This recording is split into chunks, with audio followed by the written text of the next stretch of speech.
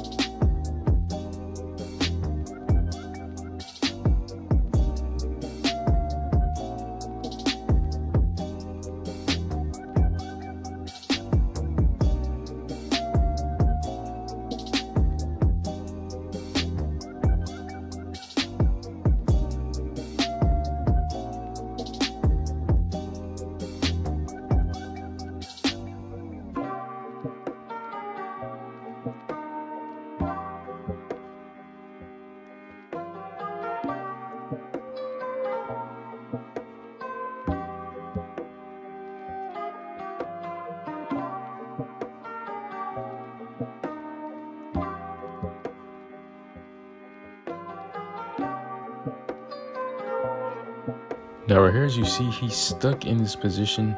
I don't know why, but this has always been an issue with El Matador fishing for him.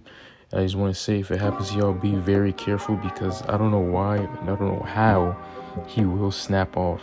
So just to let y'all know, this is still a thing.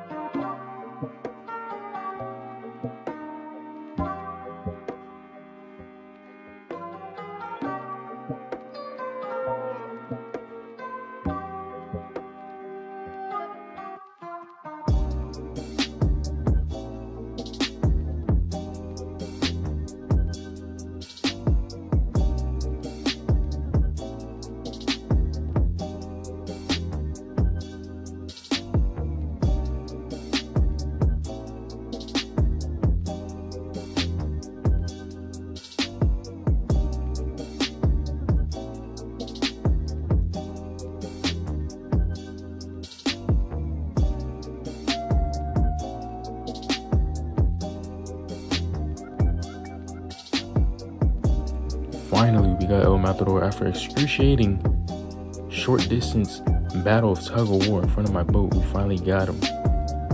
Third and final legendary scratched off the list. Hope you enjoyed this video. Hope it helped. We out.